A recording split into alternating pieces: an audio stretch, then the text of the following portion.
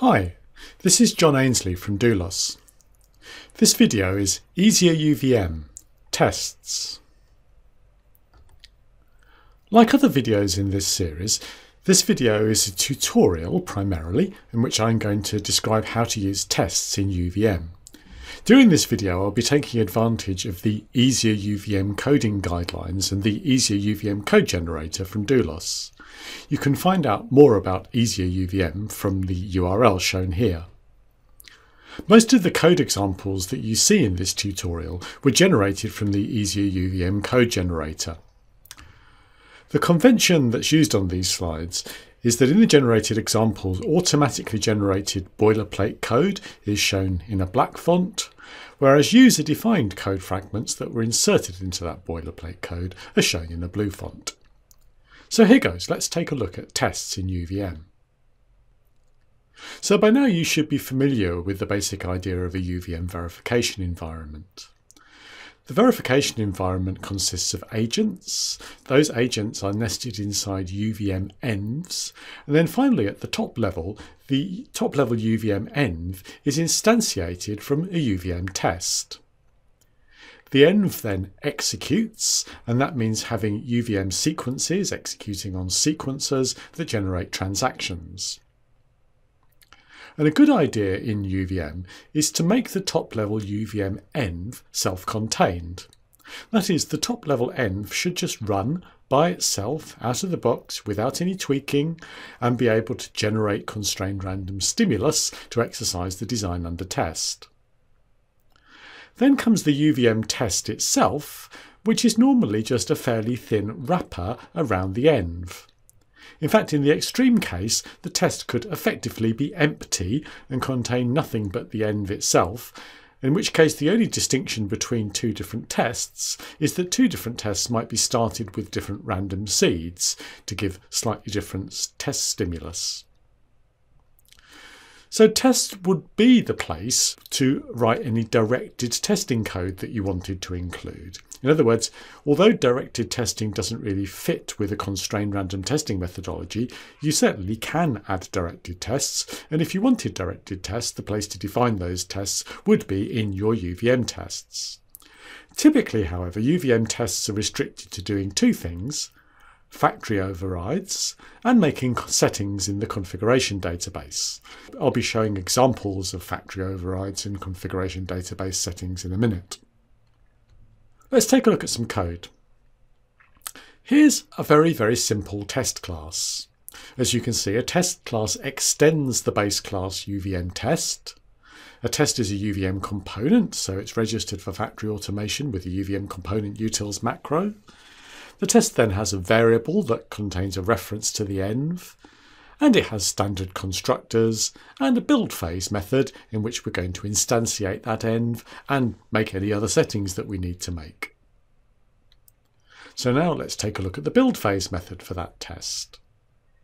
And this build phase method illustrates the two things that we would typically do in tests, that is, set variables in the configuration database and make factory overrides. So this particular test is setting the value of a variable, just for the sake of illustration, within a configuration object, where that configuration object is part of a hierarchy of configuration objects that have all been set into the configuration database by the top level module.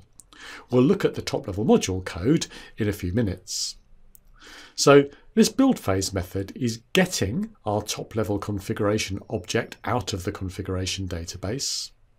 Then within that top level configuration object, there's a sub configuration object for one of our agents, the clock and data agent. And in the test, we're setting the value or assigning a value to the count variable within that configuration object.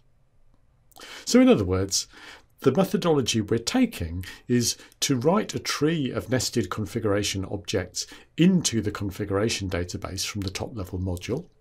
And then within the test, we can retrieve that tree of configuration objects and make any adjustments that we need to make that are specific to this given test. Because if we don't make adjustments in the given test, then the configuration object will just run with its default settings, which may be randomized settings. So it will do something meaningful by default, and the test is in effect just tweaking the contents of the configuration database. Then comes a factory override, more specifically a type override. So the way to read this code is to say that what we're doing is replacing all instances of the class clock and data default sequence with a new class my clock and data sequence. This code is generated from the Easier UVM code generator that creates a sequence for you by default for each agent. So the clock and data default sequence is the automatically generated default sequence for a particular agent on our design under test. And then we're setting a factory override to replace that default sequence with a user-defined sequence, my clock and data sequence. Then after doing the settings in the configuration database and after making any factory overrides, we then call the create method in order to instantiate the environment. And that's it, that's the complete test. Let's say a little bit more about factory overrides.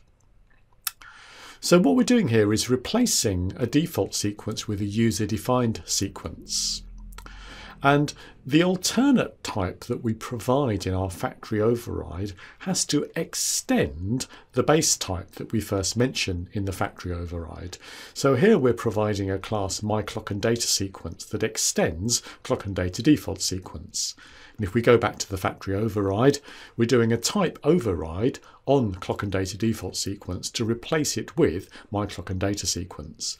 The replacement object always has to extend the object that it's replacing whenever you do a factory override, just as you can see here. So here's a particular example using a sequence. So if, for example, you wanted to add a directed test as part of a particular UVM test, you might do that by replacing an existing sequence with a user-defined sequence to do something very specific. So let's just describe factory overrides a little bit more carefully. The first kind of factory override that I've described is a type override, where we're saying replace all instances of one type with another type. And the type in question could be components, sequences, and transactions. Whenever you create a component, a sequence, or a transaction object, you should always do it using the so-called factory method, as I've described in previous video tutorials. So you use this kind of set type override whenever you want to replace all instances of any given component, sequence, or transaction with an alternative user-defined type. There's another kind of type override that you'll meet, and that is the inst override.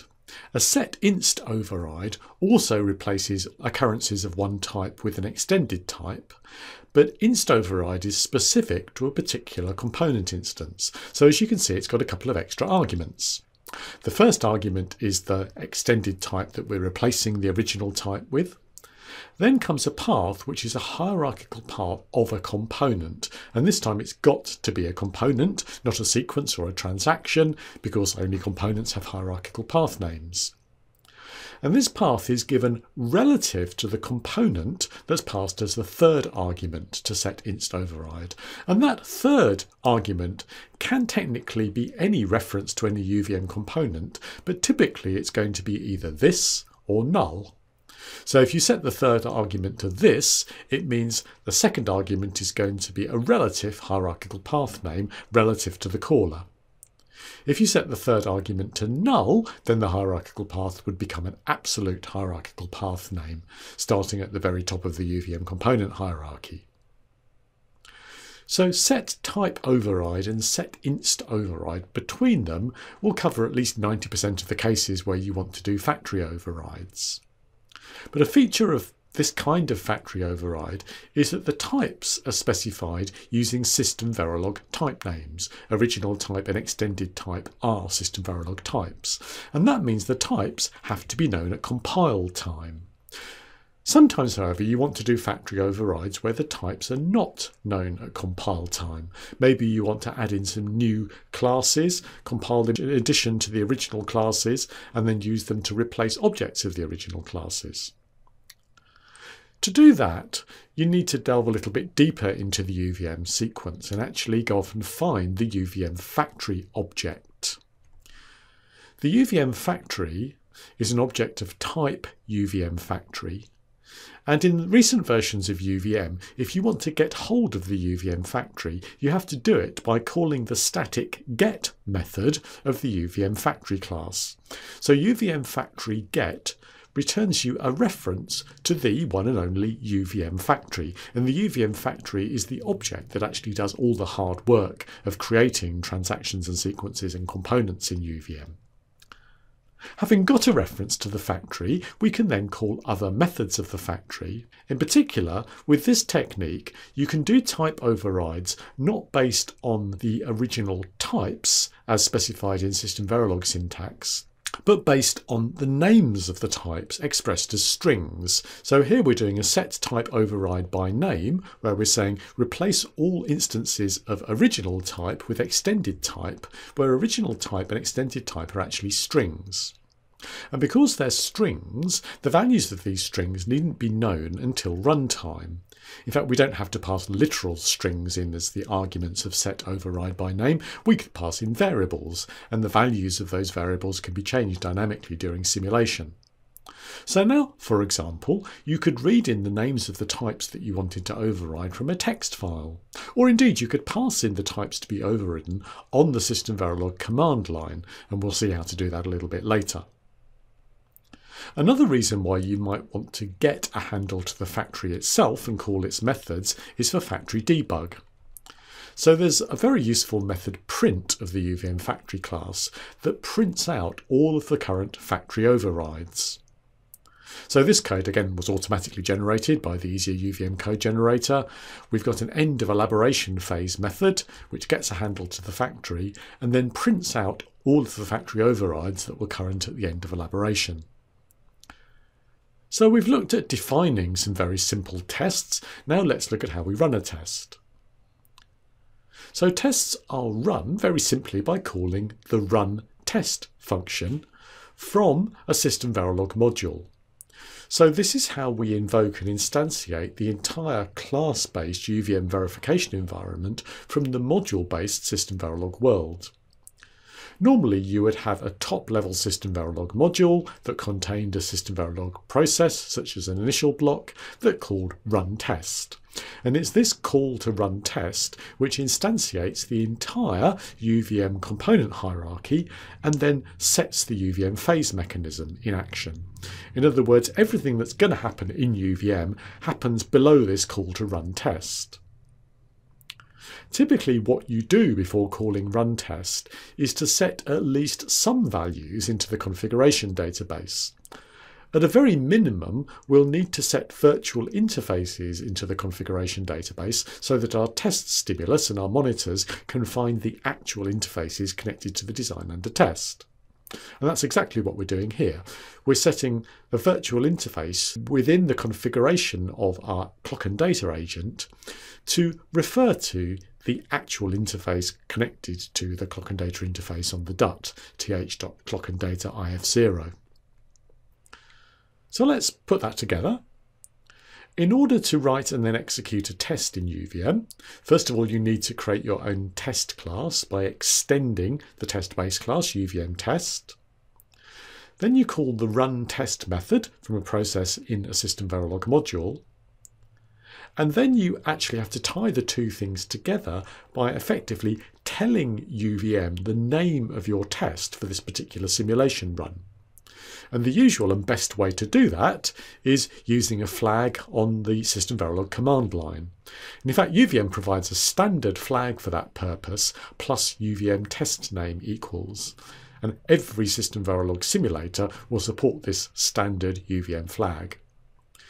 So the call to run test will look on the System Verilog command line, see that we've selected top test as our UVM test name, and therefore instantiate an object of this class top test as the top level component in our UVM component hierarchy.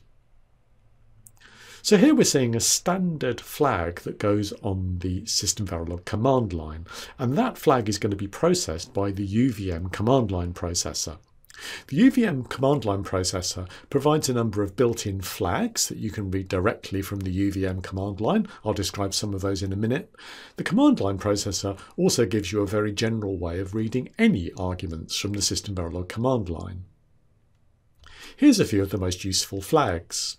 So you can pick up the test name from the command line. You can do factory overrides from the command line as an alternative to calling set type override within your System Verilog code. So here from the System Verilog command line, we're adding the flag plus UVM set type override and then naming the old and the new types. And that allows you to do factory overrides on a test by test basis without having to recompile any System Verilog code, which is a really nice feature. Then there's a range of other flags supported by the command line processor, plus UVM config db trace turns on configuration database tracing, so we'll get useful diagnostic messages printed out whenever we write settings into the configuration database. UVM objection trace traces whenever we raise and drop objections. And that's a good segue into the next topic of this tutorial, which is how we bring a UVM simulation to an end. And that's done using the UVM objection mechanism. Let's take a look at that. Beginners often find objections confusing, but there's no reason why they should be because objections are fundamentally a very, very simple and well-defined mechanism. Objections control when the test and the UVM simulation comes to an end. And the rules are very straightforward. Rule number one, any UVM component or any UVM sequence can raise or drop objections whenever it likes. Rule number two each runtime phase ends when the number of objections raised is zero. So, loosely speaking, we could say that objections control when a test comes to an end. More technically, objections actually control when each runtime phase comes to an end. So, if you have multiple runtime phases in UVM, then each runtime phase has its own objections, which control when it comes to an end. I say the runtime phase ends when the number of objections is zero, Strictly speaking, that's checked at the end of the delta cycle. So it's if the number of objections raised is zero at the end of a delta cycle, in other words, roughly speaking, at the end of the time step. So what all of that means is that if you run a UVM simulation and you don't raise any objections, simulation will end at time zero and that's a very common beginner's mistake in UVM. If you don't have any objections raised, the current phase will end. And if the current phase happens to be your only runtime phase, that means simulation is over. So do make sure that you raise at least one objection within the first delta cycle of each phase, otherwise the phase will just end straight away. Let's see what the code looks like. And it really is quite straightforward. So objections are associated with phases and you can raise and drop objections by calling the raise objection and the drop objection method of the phase. The one thing to remember is that in order to raise and drop objections you have to have a reference to the phase object that represents the phase that's currently executing, the run phase in this case. So here in this run phase method of our top level environment, we're running a, a, default virtual sequence. So we're creating an instance of the sequence, randomizing the sequence object, and then raising an objection before we start the sequence. The sequence will then run through to completion, and when the sequence is finished, we can drop that objection again so that our phase can end. So raise objection has one compulsory argument, one first argument, and that's always a reference to the component or sequence that's raising or dropping the objection. Then there's a second optional argument, which is a text string, which is very useful for diagnostic purposes.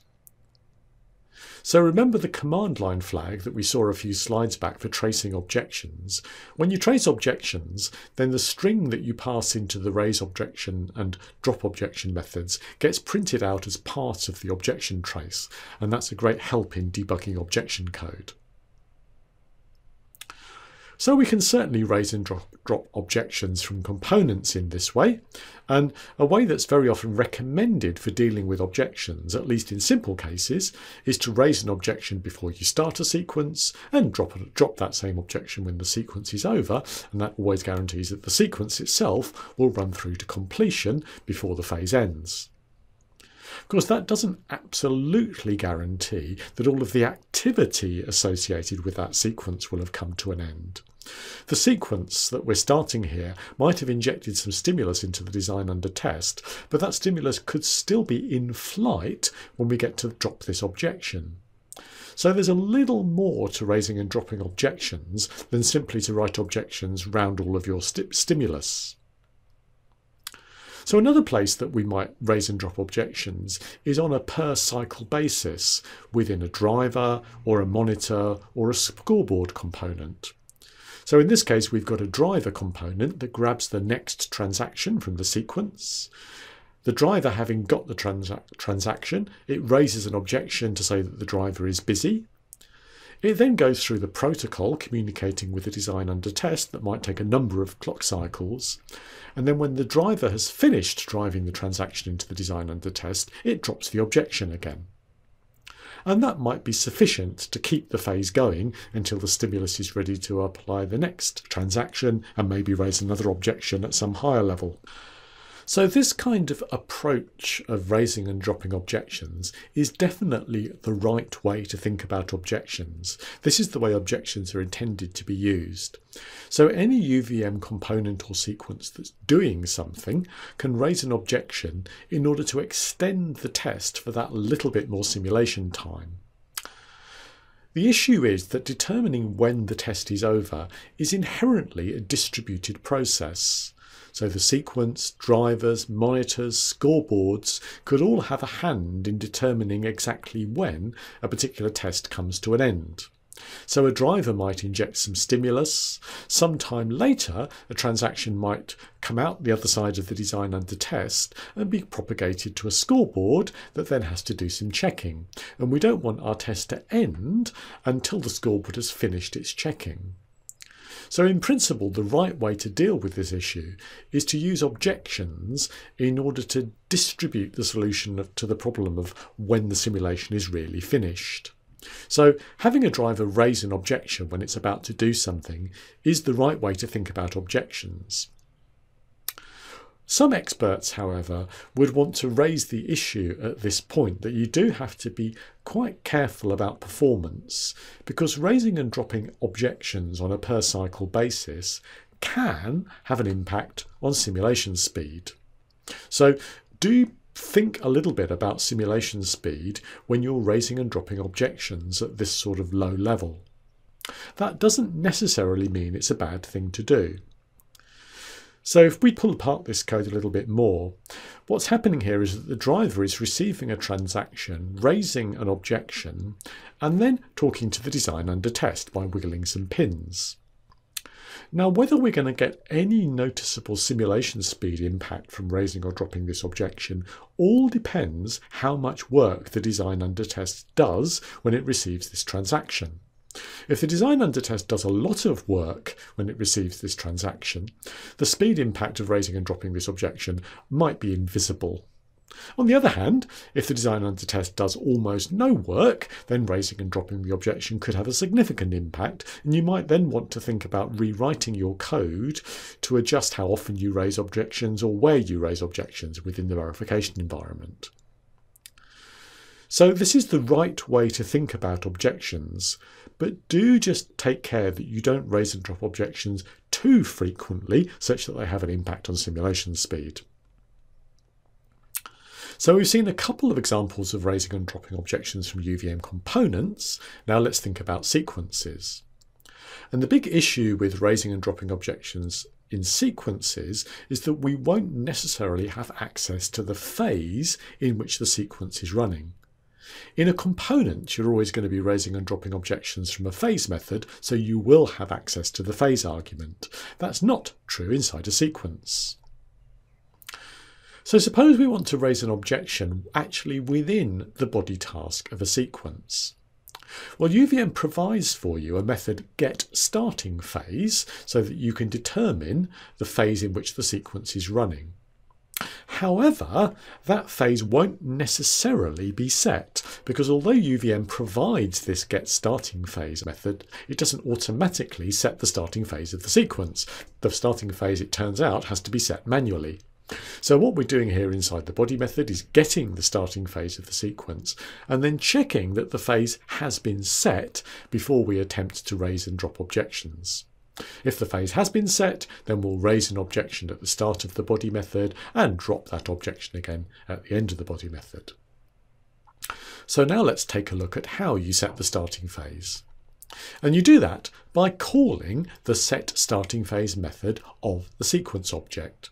So UVM provides a set starting phase method in the UVM sequence base class and the process that starts the sequence can optionally call the set starting phase method. If that process doesn't call the set starting phase method, and it's not obliged to, then of course that sequence won't be able to raise or drop any objections associated with that particular phase.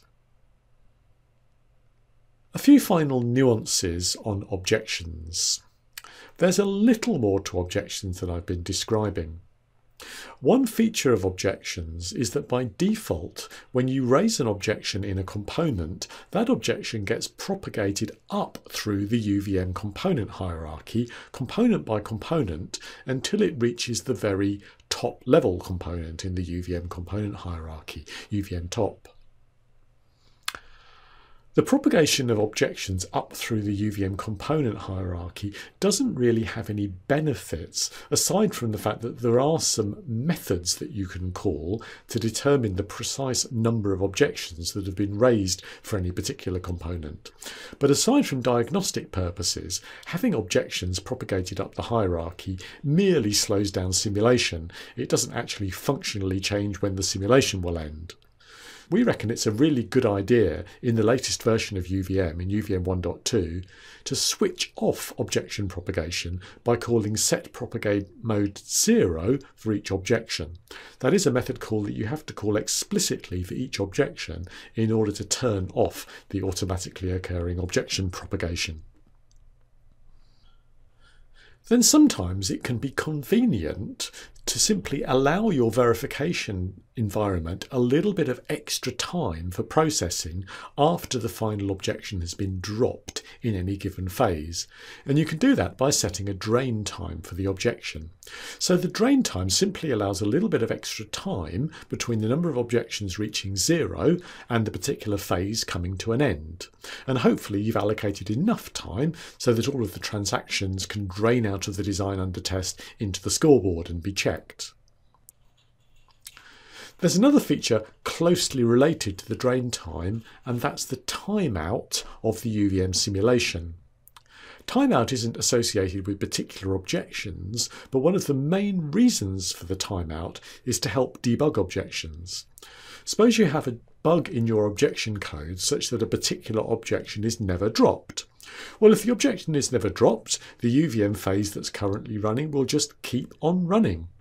And so what the timeout allows us to do is to set a timeout or a backstop on simulation. So in the case of that specific bug occurring, the UVM simulation would stop when the timeout is reached. So you can play with all the features I've been talking about right now by taking advantage of the easier UVM code generator running on EDA Playground. If you go to the URL shown at the top of the slide here, you can run this example for yourselves. So here we have an example where in the run phase method, we're setting propagate mode to zero, so our objection doesn't propagate. We're also setting a drain time for the objection. We're then creating and randomizing a virtual sequence object, raising an objection and then starting that sequence without setting the starting phase. So we're ignoring any objections that the sequence might attempt to raise, and instead we're just raising a single objection round the top level virtual sequence, running that virtual sequence to completion, and then dropping that objection again. At the bottom of the window, you can see many of those things happening in the simulation log. So do feel free to try this example for yourselves on EDA Playground. So that brings us to the end of this particular tutorial. At Doulos, we're a training company. We run training classes worldwide in any of the subjects that you can see here on this slide, and in particular, of course, System Verilog and UVM. So if you want to know any more about training from Doulos, do visit our website, doulos.com.